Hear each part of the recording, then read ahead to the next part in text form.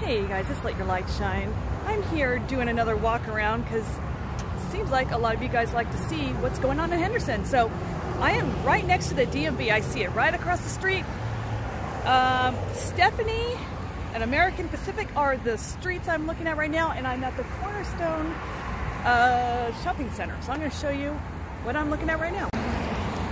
Okay, so the street that you see right now that I'm, this one right here is Stephanie and that street light going the up this way is American Pacific. So yeah, this is the DMV that I went to. Please do make an appointment. Uh, as you can see, there's a line of people already. Holy moly. Anyway, make an appointment because we did and we only had to wait 20 minutes when our uh, number got called. But then one time my husband had to go in uh, an impromptu get um, his driver's license and he had a job he was doing. They needed it by Monday and it was, and, the appointment was going to be after Monday. So he went in without an appointment. He had to wait five hours. So by all means, do an appointment. Okay, so this is what I'm seeing here. I don't know that Mexican grill. I'm not familiar with that, but I am familiar with the Subway. And then Papa Murphy's. I've never heard of that one before, but apparently it's like a take and bake or something.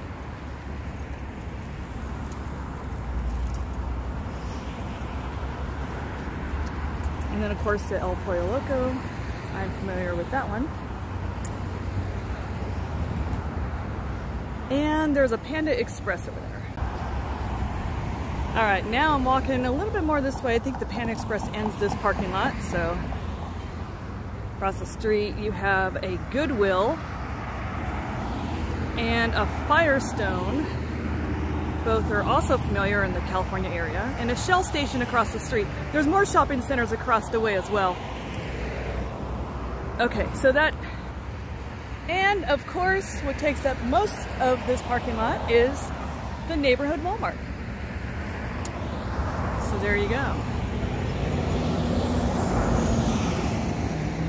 I'm gonna walk more over there and show you, I believe there's some kind of uh, dollar storage unit over there. All right, so I was at the Firestone, now there's the Shell, and then here's some other stuff across the way. None of the uh, none of these places I, well, they're also Las Vegas names, so obviously I would not know them from California. Okay. Now, when I moved to Nevada, California did not have this at their Walmarts yet. So I'm curious if the online grocery pickup is now in California. So you can order your groceries online. You still have to drive up to pick it up though, but you don't have to do the shopping. They do it for you. Okay, so they do have a pharmacy pickup here at this Walmart as well. So you can see that. So now I'm on the complete other side of where it was.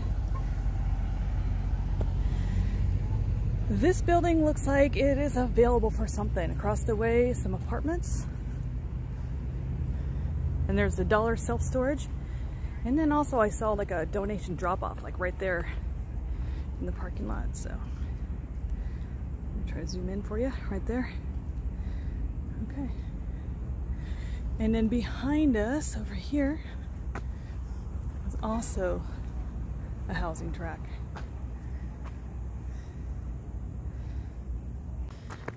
All right, just like the geocacher that I am, I'm going to venture over and beyond to see what's going on over on this side of the tracks, man. No geocache, unfortunately, though, because uh, there's one on the other side, the other shopping center that I was at. I'm gonna go check that out one day. Just not today. Let's go see what this is all about. And speaking of being on the other side of the tracks, here you go, a train track. Not a busy one, though.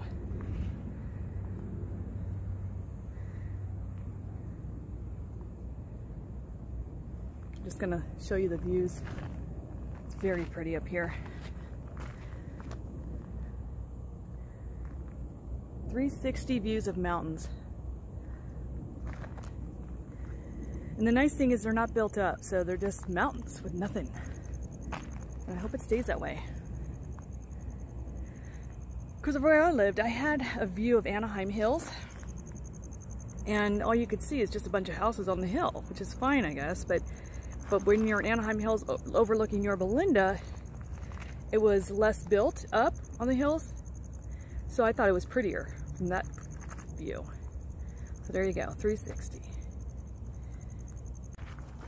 All right, guys, that's gonna do it for me. I am sweating profusely. It's not as bad as usual, and it's, but it's a little bit humid today, so it makes it worse because when it's dry heat, I'm not a sweaty Betty, but it's kind of a little bit of humidity right now.